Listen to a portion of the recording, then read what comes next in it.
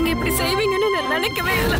சாரிடா உங்களுக்கு அம்மாவை பிடிக்கலன்னு எனக்கு தெரியும் டாடி. அவங்கள நீங்க ரொம்ப கஷ்டப்படுத்திட்டீங்க. உங்களை எனக்கு பார்க்கவே பிடிக்கல. இனிமே கூட பேசாதீங்க. அம்மா வந்துருவாங்கல்லக்கா.